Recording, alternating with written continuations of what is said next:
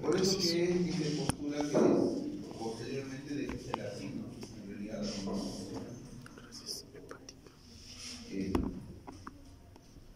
y cuando expuso, no sé, creo que fue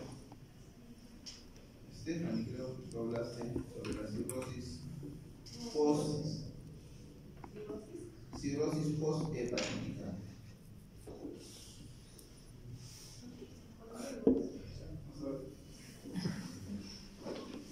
Eh, Después de la cirrosis alcohólica, hablando de la cirrosis post hepatítica.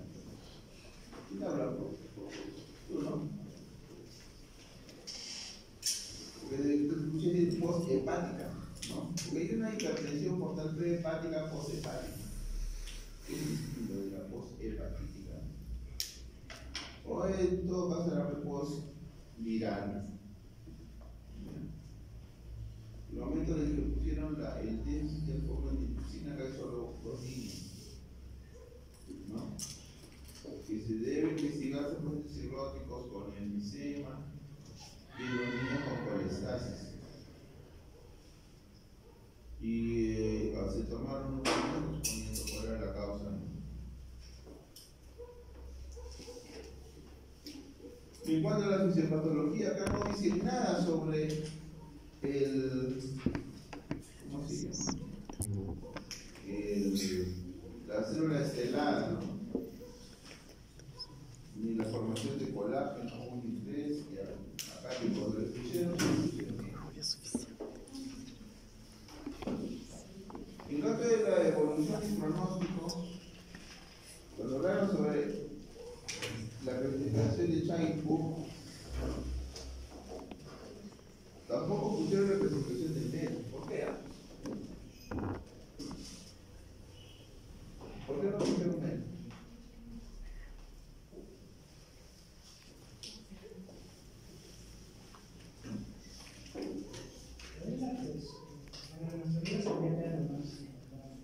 ¿Cómo?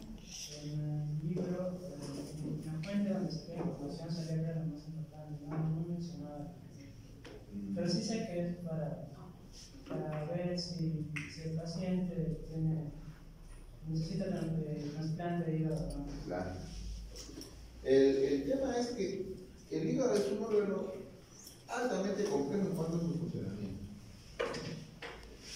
Y no se puede determinar cuál es o la manera óptima.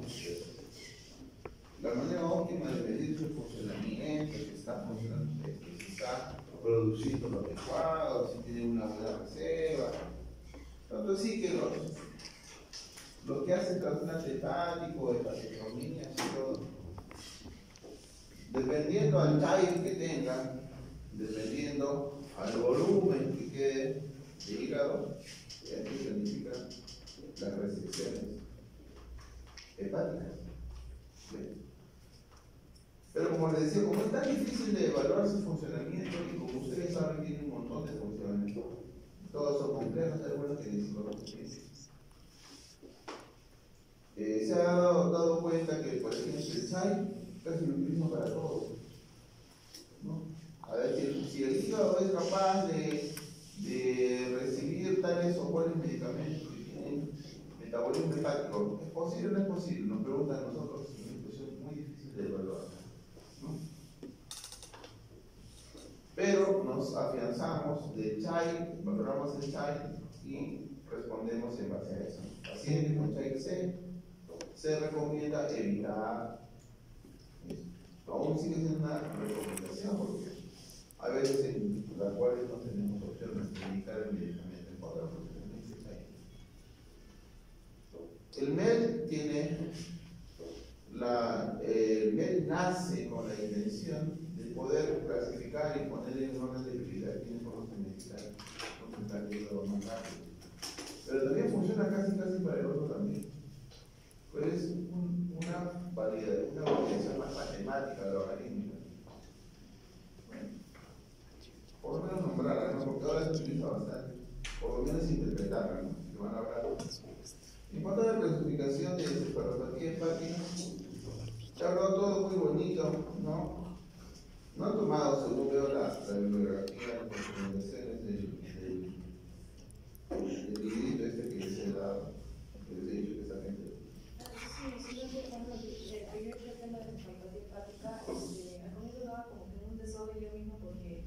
le mandé una fotografía borrador. Pero este, ya la fusión ya como que ya... Eh, como que lo entendí mejor. Ajá. Bueno, el tema es que este, la clasificación que más se usa es la de Oscar, es la que más se utiliza. Pero existe pues la encefalopatía tipo A, tipo B, tipo C, tiene. Pero uh, aún así se utiliza más la de Oscar, porque es la más práctica y la más fácil de evaluar. La, la otra clasificación se utiliza más todo en, en consulta. ¿no? De, un paciente con hígado con una enfermedad hepática es un paciente que lo evalúas al paciente, ves todo, pero tienes que sentarte y después lo de clínica. Algo de gabinete, solo con la historia. Sacar, valorar, etc. Y después decir qué es lo que No es fácil. ¿Ya? Pero, aún así, vamos a hablar de cosas interesantes. ¿Ya? Pero acá, no, acá no, no se produce. Bien. Lo otro es que en cuanto a las pruebas neurofisiológicas, no, aquí casi no se dice nada. ¿Ya? Solo un poquito más del encefalograma. Pero ahí hay, por ejemplo, para evaluar la encefalopatía hepática, hay test, test este, neurológicos, ¿no? Unión de puntos, restar, sumar, que eso es clínico puro al detectar una encefalopatía hepática mínima, es diagnóstico clínico puro. Muy interesante que les ¿no? Porque es la finalidad del curso. Pero bueno.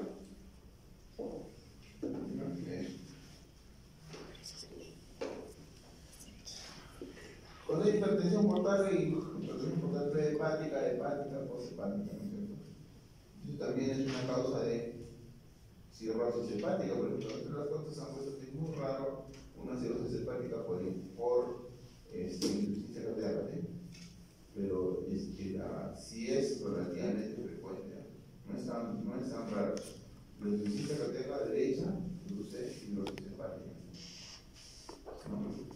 Y también hay, por ejemplo, una causa que dicen que es raro, pero yo sí he tenido pacientes con síndrome de Buchiari como común, ustedes comen su paquete con un diario, ¿no?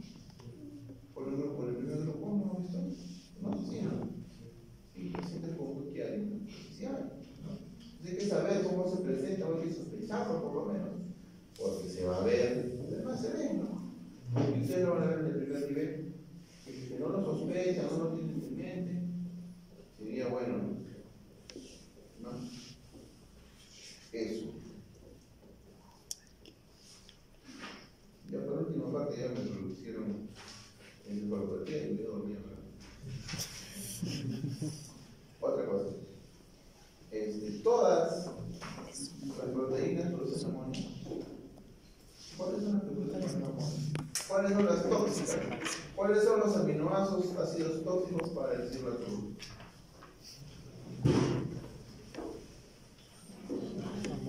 Hay, ¿no? Hay proteínas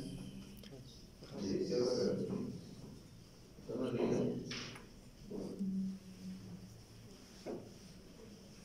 Eso es muy importante. ¿ya? ¿Por qué? Porque muchas veces existe en el tintero de que, ah, pasaste con cirrosis, sí, que comer carne.